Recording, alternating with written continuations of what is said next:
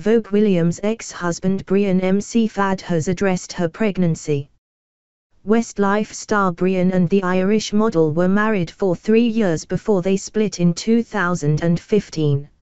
Vogue is now expecting her first child with her new husband, made in Chelsea star Spencer Matthews.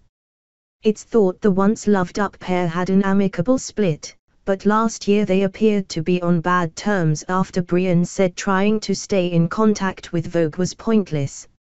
However, while he still believes this, the singer has now wished Vogue and Spencer well. I don't speak to Vogue anymore either. It's pointless. She's married now and is having a baby, the singer told Closer magazine.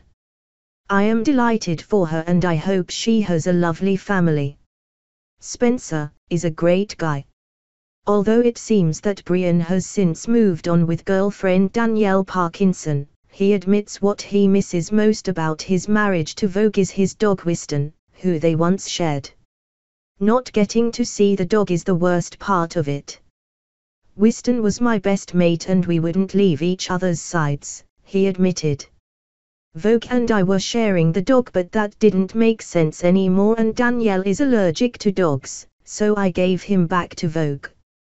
Brian has been dating Danielle for over two years now, while Vogue and Spencer have been together since 2017.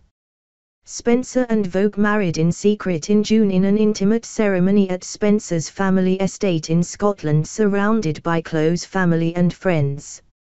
Arriving at the 10,000-acre Glen Affric estate in Carrick, the pair were suitably dressed to impress.